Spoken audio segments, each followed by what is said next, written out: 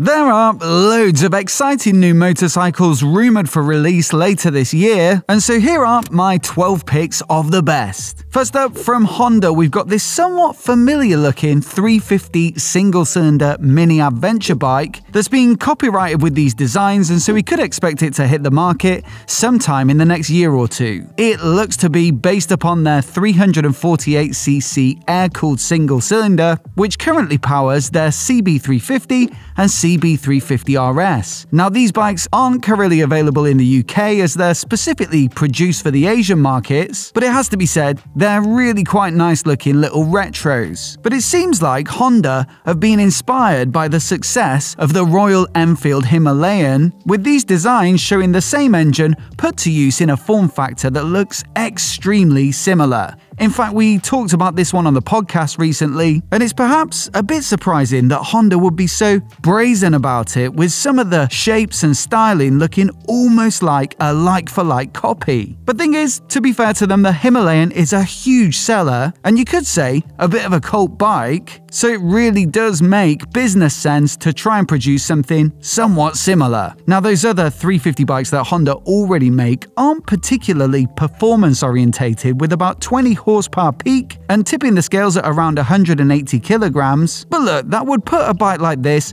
right in line with the air cooled 411 Himalayans, which really are about simplicity and robustness more than face melting acceleration. So, what do you think? Is it low of Honda to be so shameless in ripping off the Himalayan, or does it make complete business sense? Let me know what you think down in the comments below. Meanwhile, over at Enfield, it looks like a classic version of their 650 parallel twin could be on the way, with a test bike having been spotted out on the road in recent weeks. At the moment, there's already a classic 350 in the lineup, and what you get with a classic is a little more chrome and historical influence in the design, and so I'd expect very much the same here. Now, currently, we've got the Interceptor 650, which is a good all-rounder retro bike, the Continental GT Cafe Racer, the Super Meteor Cruiser, and most recently the Shotgun 650, which is a little more custom style. So you can see there is room in the lineup for something a bit more traditional looking, and the 650 engine would offer more than twice as much power as the 350 Classic at 47 horsepower, and so for me, that'd make it a much more tempting proposition. Now, Enfield openly admitted they're planning loads of new bikes over the next few years, and so this one looks pretty much nailed on, as well as a rumoured scrambler version of the 650, which I also think looks pretty tasty. In fact, this approach of rolling out several versions of a specific engine or platform is is super common as it allows manufacturers to cover several genres of bike without having to invest too heavily in R&D. And so it should come as no surprise that they're looking to do the same with the new liquid-cooled single that powers the Himalayan 450 that was announced last year. Both a scrambler version and a roadster version have been spotted out testing, and although we're yet to ride the new 450 Himalayan, on paper, it really does look pretty good with much more power than the air-cooled equivalent, as well as a big advancement in tech with a neatly designed TFT display. Now, the Himalayan is firmly adventure and off road focused with that big 21 inch front wheel and relatively tall stance. And so, what I think these bikes would allow them to do is go toe to toe with the Triumph Scrambler 400X in the Scrambler market and the Triumph Speed 400 in the Roadster market, both of which have been super popular since they were announced at the back end of last year. Thing is, though, it looks like they won't have it all their own way for much longer, and Enfield produced some of the best bikes in this capacity range and styling genre, as well as being generally super competitive on price, and so these are certainly ones to watch. Now, also looking to get involved in this sort of market, it looks as though Moto Guzzi are working on a smaller capacity retro, with this test bike being spotted a few times out on the road. It's unmistakably a Moto Guzzi given the shape of the tail lights and the fuel tank, but actually the engine appears to come from their sister company Aprilia, with the covers and contours being pretty much exactly the same as the parallel twin that powers their RS457 sports bike. In fact, a lot of the chassis looks pretty similar to that bike too, but they've just adapted it with their typical Moto Guzzi styling, and so while I wouldn't expect it to feel particularly authentically retro in terms of the riding experience, it should be a fun bike to ride. And also, a parallel twin with a 270 degree crank should offer a bit of a point of differentiation in a market that's largely made up of singles. There's a full video on the channel with all the details of the spy shot, so do check out the link down in the description below if you want to find out more. Now, in addition to that bike, it also appears that Moto Guzzi are potentially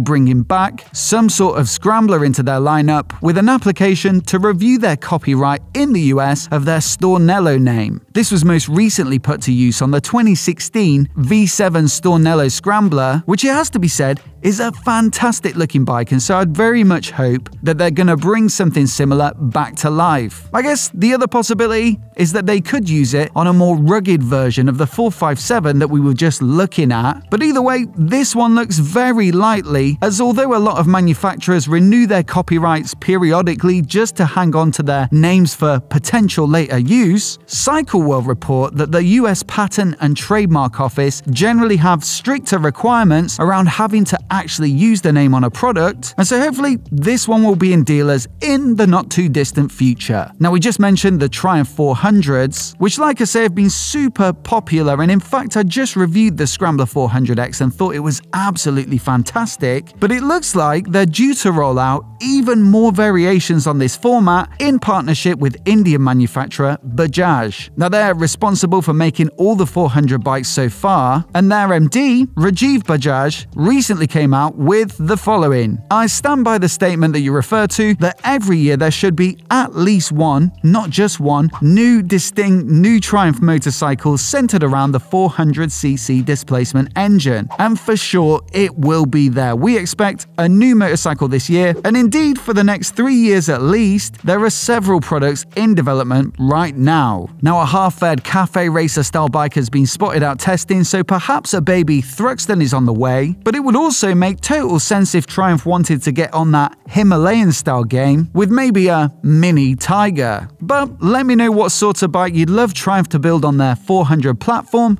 down in the comments below. In fact, there are quite a few bikes rumoured from Triumph this year, so we'll rattle through them now. And one is the Tiger Sport 660, which was launched a year or two back, but has already been spotted out testing with a few new components. You see, they recently launched the Daytona 660, which is a sports bike interpretation of the platform, and it came with a few key upgrades, including radially mounted brake calipers and a boost in peak power. This updated Tiger Sport 660 appears to have the same upgraded brakes, and so that had me wondering whether they're planning a mid cycle update that brings in some of these features, hopefully with the increased power as well, to the Tiger Sport 660. And that in itself begs the question will they also be rolled out as a mid cycle update to the Trident 660 Naked? Both the Tiger Sport and Trident are already fantastic bikes to ride, but better brakes and a bit more punch is always going to be a welcome addition. Now, on top top of that, Triumph also expected at some point to release a more off-road and adventure-biased version of their 660 bikes, with Tiger Rally 660 being the name that's been floated most frequently so far. And it'd be no huge surprise with many mainstream manufacturers having adventure versions of their middleweight bikes, like the hugely successful Yamaha Tenere 700, the Suzuki V-Strom 800DE, the Honda Transalp XL750, and the Aprilia Tuareg 660. So you see, a Tiger Rally 660 would make perfect sense in that market, and also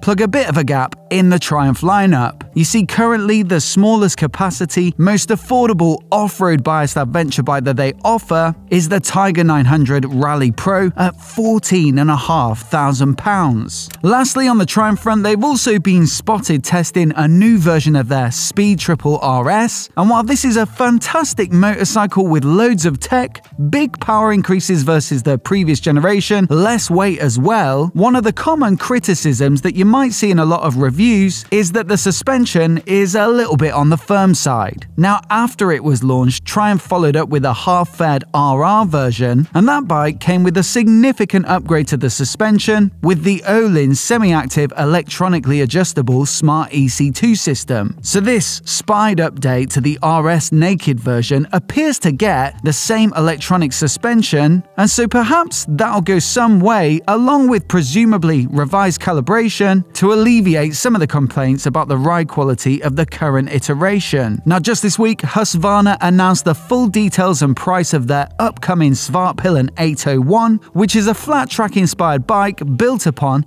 the fantastic KTM 790 Duke, with KTM being a sister company and sharing lots of their platforms and tech. To me, it genuinely looks like a brilliant bike with the typical minimal Husqvarna styling, but for some people, perhaps the upright riding position and the flat track semi knobbly tyres might not be quite sporty enough. Thing is, Husqvarna generally launch a Vitpilen equivalent of every Svartpilen bike, and they normally get a slightly lower riding position with lower bars and more road biased hardware like stickier tyres. So I think it's fair to expect that a Vitpilen 801 is due sometime soon, and the only big question is whether they'll use the same 105 horsepower 801 engine or whether they'll go for a 901 version to give it a bit more punch. The KTM 990 Duke, for example, makes more like 120 horsepower, and so if it was fitted with this parallel twin, that would make for a very spicy, retro inspired bike indeed. Speaking of KTM, in recent years they've frequently collaborated with the super high end luxury car brand Brabus to produce limited run versions of their 1290 Super Duke Super Naked. And with that bike recently being updated to the 1390 Super Duke, there's a rumour that Brabus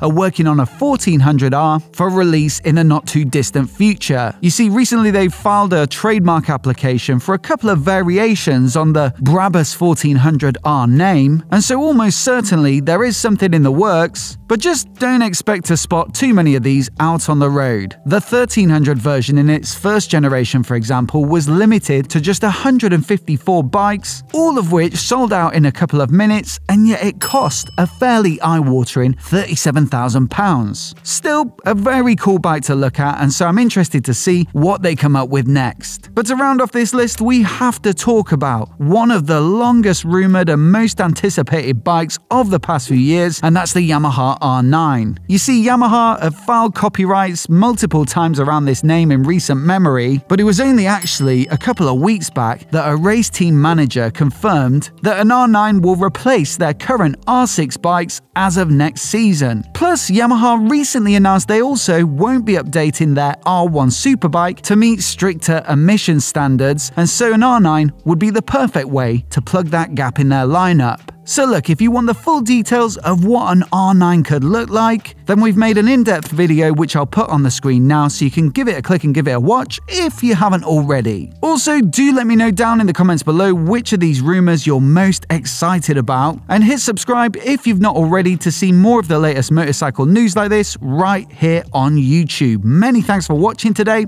and we'll catch you in the next video.